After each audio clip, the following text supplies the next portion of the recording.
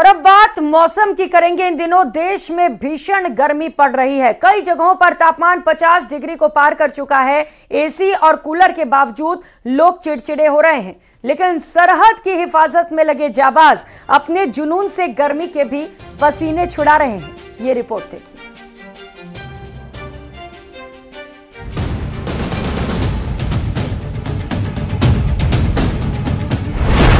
रेतीली सरहद पर चट्टानी हौसले।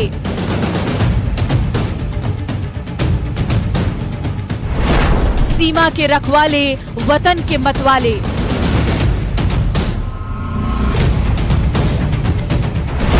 जिनके जुनून से गर्मी के छूटे पसीने। जब आसमान से आग बरस रही हो और धरती भट्टी की तरह तप रही हो, तब चिल चिलाती और प्राण लेने पर आमदा, गर्मी के बारे में सवाल करने पर ऐसा जवाब वही दे सकता है जिसकी रगों में वतन परस्ती उबाल मार रही हो। जवाब सुनिए। सिखलाई इस प्रकार की है कि हम किसी भी मौसम में किसी भी तरह कितना ही डिग्री सेल्सियस पार कर जाए, लेकिन हम देश की रक्षा के लिए करने के लिए तैयार है। इस हालात से गुजरने के लिए सर हमारे को ट्रेनिंग इस प्रकार की दी गई है ताकि इन हालातों से हम गुजर सके। और उसके साथ हमारे पास हर प्रकार के संसाधन प्रोवाइड किए गए मान गए न जवानों के जुनून के आगे गर्मी के पसीने छूट रही हैं। माँ भारती के ये वो सपूत हैं जिनका जुनून तपते रेगिस्तान में भी कम नहीं होता।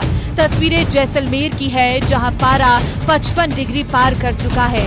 लेकिन मजाल है सीमा के रखवालों के हिम्मत का हिमालय टस से मस हो जाए। जिस तपती हुई रेत में आम आदमी का पल भर के लिए खड़ा होना मुश्किल हो सकता है, वहाँ बीएसएफ जवानों के फौलादी हौसले मौसम की मार को ललकार रही है।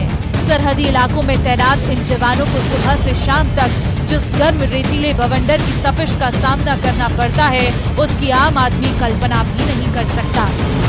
तापमान इतना हाई है कि जो ऊँट है, जो रेगिस्तान का जहाज़ जिसे बोला जाता है, उसके ही पाँव जल रहे हैं। तो ऑब्वियसली सर, पाँव हमारे भी जल रहे हैं, पर जो अब बाहर निकले हैं, देश की रक्षा के लिए निकले हैं तो फिर क्या धूप है, क्या जल, क्या तापमान को देखना है? तो बस अपना ड्यूटी के ऊपर ध्यान देना है। और ये तो रात दिन का काम है, हमारा हर मौसम में हम ड्यूटी करें, सीमा की सुरक्षा को बनाए रखें, और इस तापमान में जो है किसी भी तापमान को सहने की हमारे को शक्ति दी गई है। प्रदेश के कई जिलों में रेड अलर्ट जारी हो चुका है। जैसलमेर से लगती भारत पाकिस्तान सीमा पर इन दिनों गर्मी के तेवर तीखे होते जा रहे हैं। यहाँ तक कि बोनट पर रोटी तक सिक रही, तपिश ऐसी कि 10 मिनट ठहर जाए तो चेहरा झुलस जाए। गर्मी से बचने के लिए जवान सर पर टोपी, आँखों पर गॉगल्स लगाए हुए, भीषण गर्मी से बचने की कोशिश करते हैं। पूछने पर कहते हैं कि उनके पास संसाधनों की कोई कमी नहीं है। हमारी ट्रेनिंग उस प्रकार की है दूसरा, हमें उच्च मुख्यालयों के द्वारा बड़ी अधिकारियों के द्वारा सभी प्रकार की सुविधाएँ भी उपलब्ध कराई गई है। जैसे आप देख रहे होंगे, मैंने गोगल्स लगा रखा है, पटका लगा रखा है। पानी का व्यवस्था होता है, नींबू पानी सभी जवान अपने साथ रखते हैं। ग्लूकोन डी लोग सभी अपने साथ रखते हैं। साथ ही कैंप में कोल्ड रूम की व्यवस्था की गई है। मिनी एमआई रूम है हमारे पास, जहाँ पे कोई अगर बीमार होता है तो उसकी उचित देखभाल की जाती है।